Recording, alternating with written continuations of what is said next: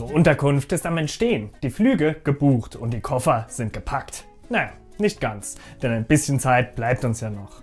Dennoch dachte ich mir, es wird Zeit, nochmal ein Video über meine Auswanderungspläne in die Dominikanische Republik zu machen. Und heute ist es soweit. Hauptsächlich bekomme ich von euch positives Feedback und einige von euch haben mir sogar mitgeteilt, dass sie sich teilweise schon vorher, teilweise erst durch mein Video auch für ein freies Leben in der Karibik interessieren. Das freut mich natürlich ungemein und ich lese auch immer gespannt die Zuschriften von euch, die mich hier in den Kommentaren oder auch bei Telegram erreichen. Doch wie immer gibt es auch hier wieder zwei Seiten der Medaille. Denn einige von euch verstehen den Schritt auszuwandern gar nicht und nochmal andere sind stets darauf bedacht, mir aufzuzählen, welche Probleme es in der Domrep geben könnte und dass ich mir doch lieber ein anderes Land, wie zum Beispiel Paraguay oder Panama, aussuchen sollte. Welches das Hauptproblem ist, auf das ich des Öfteren angesprochen werde und warum ich trotzdem bei meiner Entscheidung bleibe, erfährst du, wenn du dich jetzt einfach zurücklehnst und dran bleibst.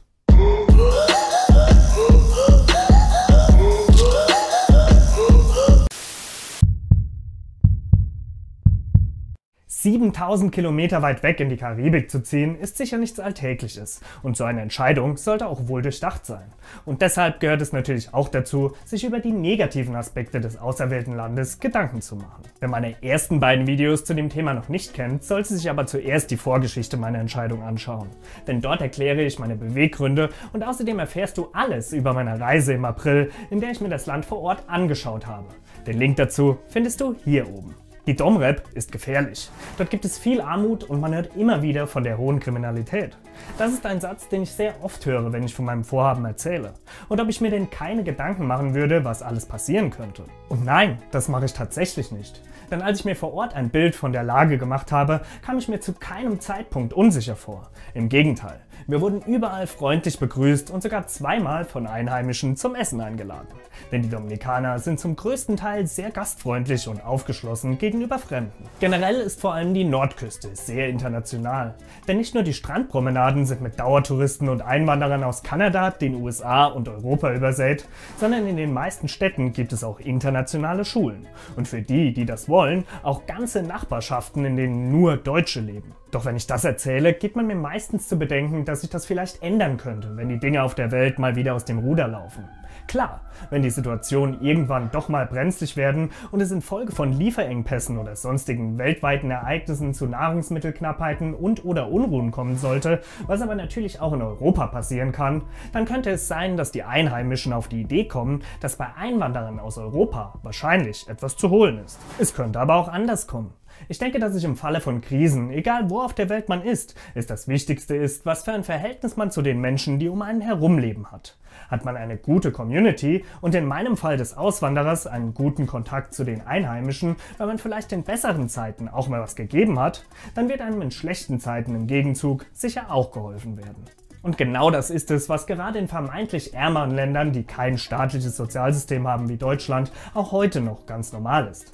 Man hilft sich gegenseitig, weil man auch weiß, wie es ist, auch mal nichts zu haben. Schottet man sich aber ab und kennt noch nicht mal seinen eigenen Nachbarn beim Vornamen, geschweige denn hätte ihm jemals bei irgendetwas geholfen, wenn er mal Hilfe brauchte, dann wird es mit Sicherheit auch in Krisenzeiten nicht anders aussehen. Und da spielt es auch keine Rolle, in welchem Land man gerade ist. Wenn es tatsächlich echte Lieferkettenprobleme und Nahrungsmittelknappheiten geben wird, dann wird das weltweite Auswirkungen haben.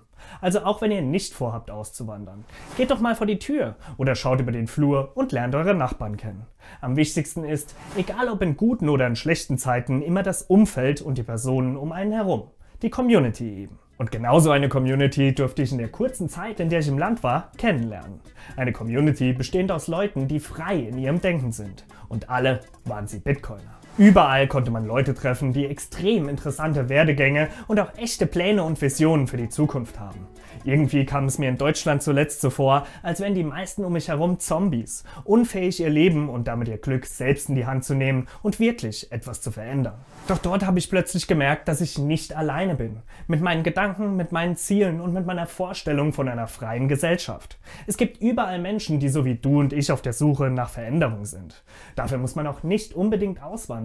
Aber man muss sich bewegen, aus sich rauskommen und wirklich etwas tun. Auf jeden Fall kam es mir während der Zeit dort so vor, als seien dort mehr solcher Menschen. Aber vielleicht liegt das auch nur an der Schönheit der Natur und dem ganzjährig guten Wetter. Die Tatsache mit der Community, die ich dort gefunden habe und ein darauf folgendes Angebot, das ein längerfristiges Wohnarrangement für meine Freundin und mich beinhaltet, hat dann jegliche anderen Zweifel bezüglich Ängsten oder Sorgen darüber, was denn noch alles Schreckliches passieren könnte, ausradiert.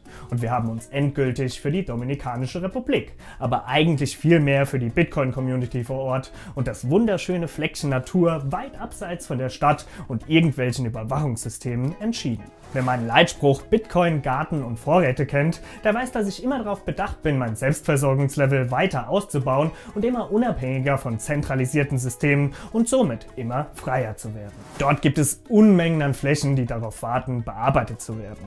Samenfestes Saatgut für mein Unterfangen habe ich schon bestellt. Ob man sowas überhaupt per Flugzeug einführen darf, keine Ahnung. Werden wir sehen. Auf jeden Fall ist es dort auch möglich, Hühner zu halten. Und ich habe gehört, dass wohl bald auch ein Imkerkurs stattfinden soll. Wobei ich noch nicht so genau weiß, ob das was für mich ist. Ziel ist es auf jeden Fall, wieder näher an der Natur zu leben, so autark wie möglich zu werden und einfach ein freies, selbstbestimmtes Leben zu führen, in dem man gar nicht mehr viel Geld benötigt. Und wenn doch, dann gibt es in einer nahegelegenen Stadt eine Bitcoin-Bank.